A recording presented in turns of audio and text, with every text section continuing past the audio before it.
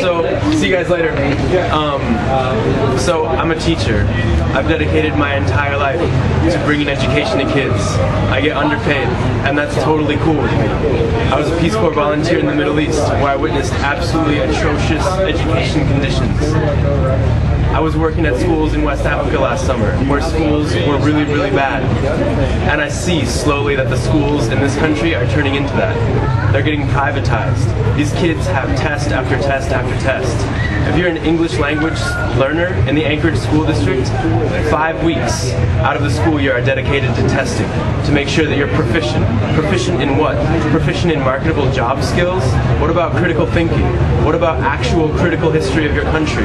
Learning another language besides English. These are the kinds of things that will bring a vibrant democracy to, to fruitation, fruition. I don't even know. It bears fruit. it's not happening. Why is it not happening? Because testing companies can make obscene amounts of money off of creating the Alaska High School exit exam. Testing companies make an obscene amount of money off, off the SAT, off the ACT, off the GRE, the GMAT. You name it, it costs about $100 a test. And why?